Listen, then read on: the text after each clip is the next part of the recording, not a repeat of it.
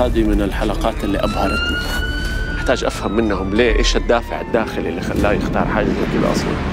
كل دقيقة معناها إنقاذ أرواح. اليوم كسرنا الحاجز. ليش هي من أنبل المهن؟ سين. غدا. السادسة بتوقيت بغداد على أم بي سي العراق وشاهد.